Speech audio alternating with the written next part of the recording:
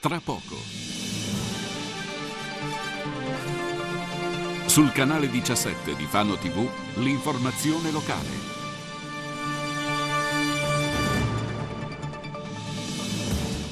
Inferno in autostrada, incidenti a catena, 4 feriti gravi e traffico in tilt.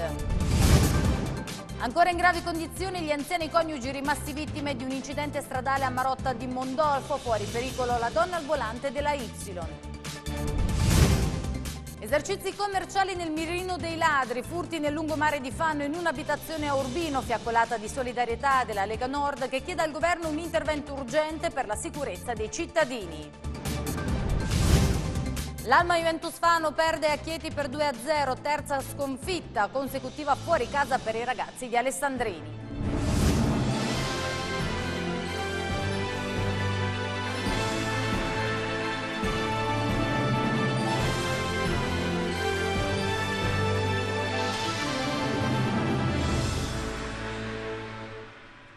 Cordiale saluto dalla redazione di Occhio alla Notizia. Apriamo il nostro telegiornale con la cronaca. Sei persone, di cui quattro in gravi condizioni, sono rimaste ferite questa mattina in un incidente accaduto sull'autostrada A14. Si tratta di due tamponamenti avvenuti a poca distanza l'uno dall'altro. Ma sentiamo tutti i particolari in questo servizio di Lino Balestra.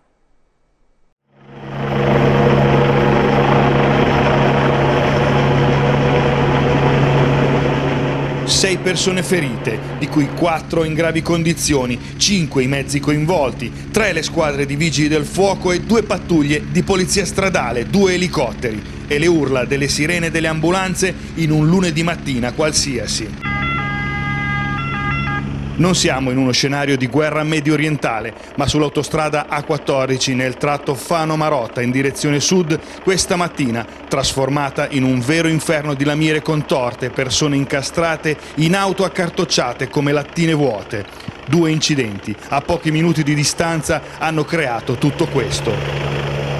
Il primo, alle 7.45, siamo in corrispondenza dell'uscita di Marotta quando ad un mezzo adibito alla polizia del manto stradale, con a bordo un uomo di 54 anni residente nel Forlivese, esplode una gomma e urta violentemente il New Jersey pochi istanti e viene centrato in pieno da una Ford Focus che sopraggiungeva dietro di lui con a bordo due uomini, uno di 45 anni, fanese, alla guida e uno di 78 anni, passeggero. Ambedue gli autisti rimangono incastrati nei mezzi e così la prima squadra dei Vigili del Fuoco di Fano arriva sul posto assieme alle ambulanze del 118 ma i due sfortunati automobilisti versano in gravi condizioni e così inizia la corsa degli elicotteri. Vengono chiamati tutti e due da Ancona e da Falconara e trasporteranno i due autisti all'ospedale Torrette di Ancona, mentre il 78enne all'ospedale di Fano. Ma per loro non è ancora finita, dovranno tornare di lì a poco nello stesso tratto di autostrada. Sono le 8.30, due chilometri prima la coda creata da questo incidente ne provoca un secondo, ancora più vasto del primo. Un camionista greco che trasportava patate tampona violentemente un camion di ghiaia che per l'urto subito finisce contro un Fiat Cubo con a bordo una donna di 40 anni, originaria di Ivrea, che si incastra sotto il terzo tir, trasformando l'auto in un cartoccio. Ripartono le ambulanze e gli elicotteri. Questa volta sul posto, oltre alla seconda squadra dei vigili del fuoco di Fano, arriva una seconda di Pesaro e la gru pesante. La donna viene estratta dalle lamiere priva di conoscenza e trasportata al torrette di Ancona, dove finirà anche l'autista greco, per il quale ci vorrà quasi un'ora per estrarlo dalla cabina contorta del suo mezzo.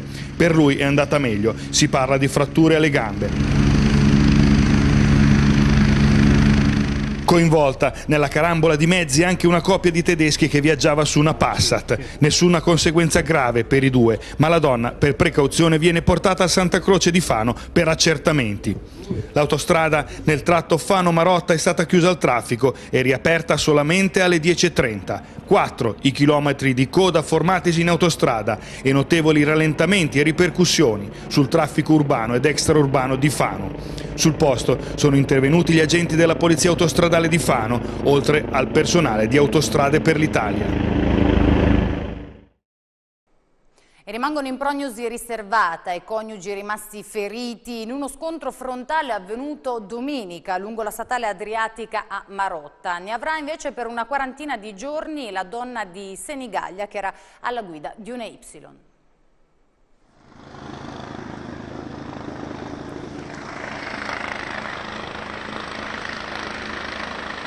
Sembrava una giornata come le altre e invece per una coppia di anziani un'uscita domenicale si è trasformata in un dramma in pochi istanti. Maria Serfilippi, di 77 anni, suo marito Sesto Beciani, ottantenne, sono ancora in prognosi riservata dopo il violento frontale avvenuto poco dopo le 17 lungo la statale adriatica 16 a Marotta di Mondolfo.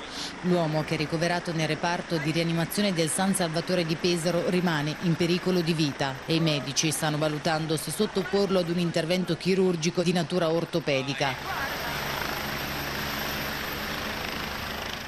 Sono ancora stazionarie invece le condizioni della moglie che dopo l'incidente è stata trasportata dall'eliambulanza al Torrette di Ancone in codice rosso a causa delle gravi ferite riportate. Come si legge in un bollettino medico della direzione generale, nelle prossime ore verranno eseguiti altri esami diagnostici radiografici in vista di ulteriori trattamenti chirurgici.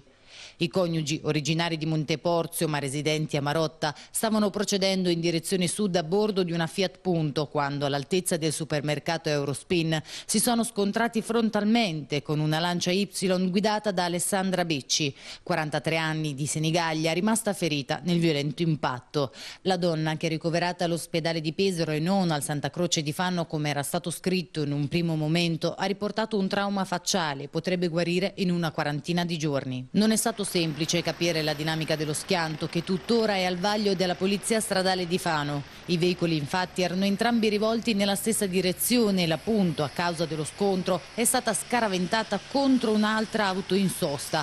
Una delle ipotesi potrebbe essere un sorpasso azzardato.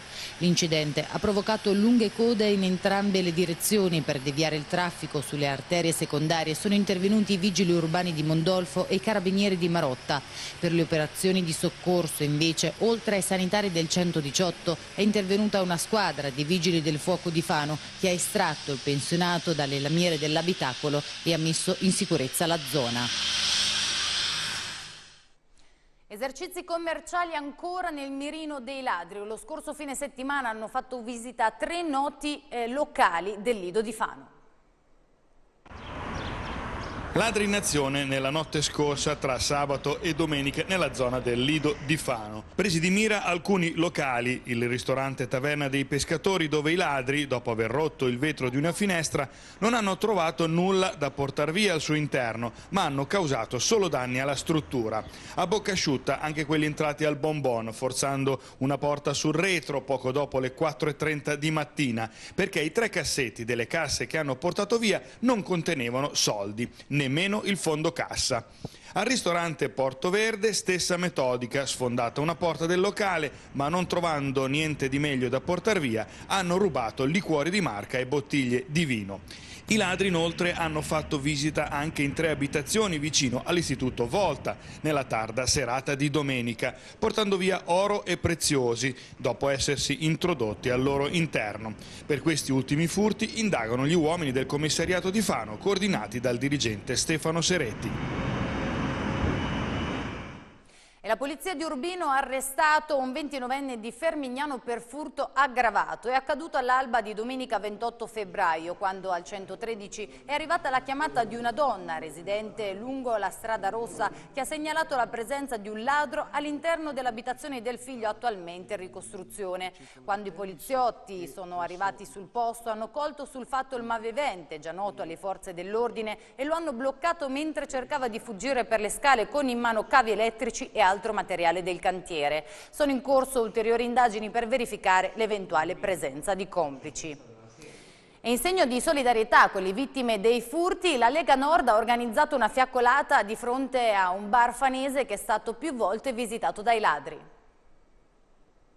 Una delinquenza che ormai dilaga in tutte le strade a tutte le ore. Derubati due volte dai ladri e dallo Stato è una delle frasi riportate sugli striscioni di una ventina di esponenti della Lega Nord che con vessilli e fiaccole in mano hanno manifestato di fronte a uno dei barfanesi preso di mira dai ladri più e più volte, ben cinque negli ultimi mesi e più di dieci in sei anni di attività, tant'è che ora tutte le assicurazioni si tirano indietro.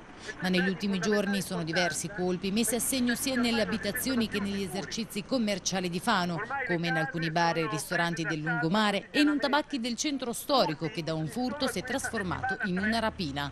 Nessuno è più al sicuro, dicono, neppure dentro casa, una situazione che per il Carroccio va affrontata con urgenza da parte del governo. Beh, non solo di solidarietà con le vittime, ma anche per chiedere al governo cose semplici. Primo, ripristinare la galera per chi ruba. Secondo, espulsione immediata dopo scontata la pena dei recidivi, eliminare tutte quelle norme eh, cosiddette svuota carcere che, che, impediscono oggi come oggi prendi ladri, anche quando li prendi, di tenerli in galera.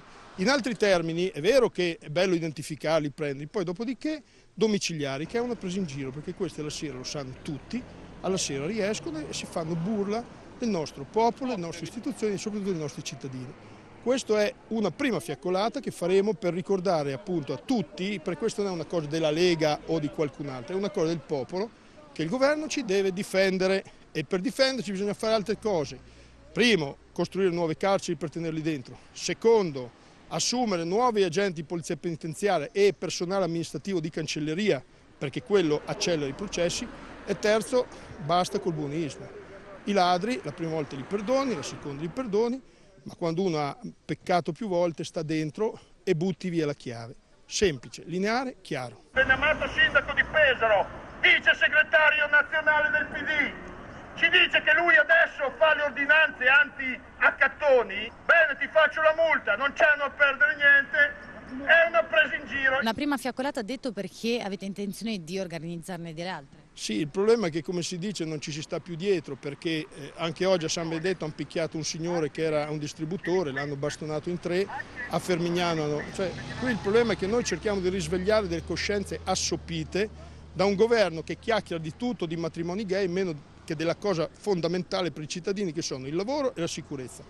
Noi speriamo con queste fiaccole di riaccendere l'attenzione ai cittadini, poi eh, non so se ci riusciremo ma ci stiamo provando. Incredibile, per questo come Lega Nord di Fano cerchiamo di dare la massima solidarietà a tutte le e ancora cronaca, alla stazione ferroviaria di Ancona gli agenti delle volanti della questura hanno arrestato una 24enne originaria del Pesarese che nascondeva la droga nelle parti intime. La ragazza, che viaggiava in treno per rifornire pusher, nascondeva negli slip tre involucri contenenti ognuno due grammi di cocaina, un foglio di carta piegato in due con circa un grammo di droga, due buste contenenti eroina e 19 pasticche di ecstasy. Nella sua borsetta invece sono stati rinvenuti quasi 400 euro in contanti considerati provento frutto dell'attività di spaccio.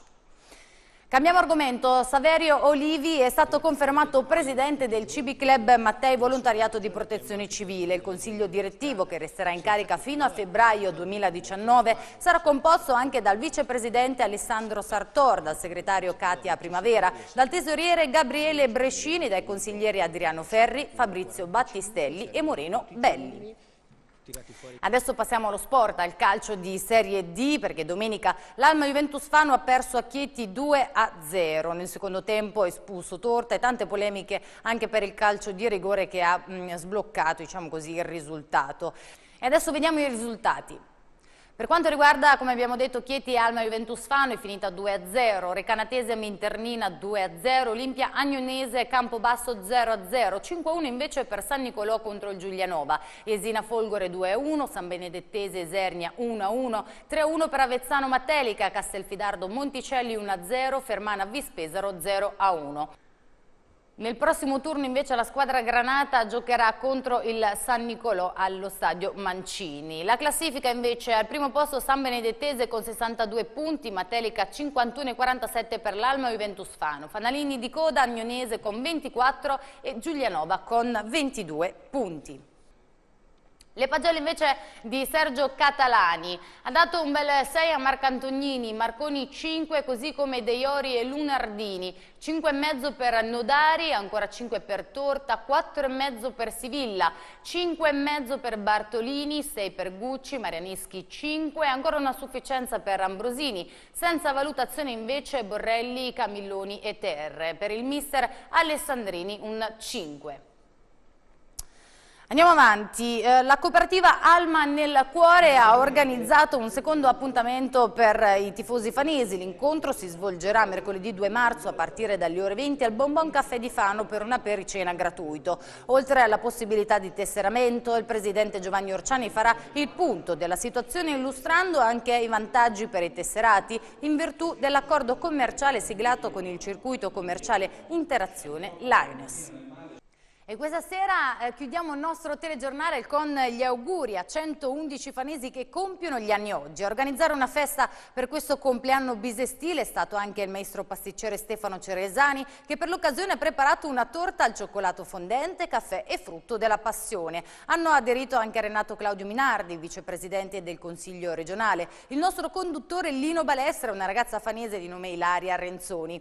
E quindi ora vi lascio con le immagini di questi festeggiamenti, vi do appuntamento per domani sera con un'altra edizione di Occhio alla Notizia, puntuale sempre alle ore 20 e 30. Grazie per la vostra attenzione, arrivederci.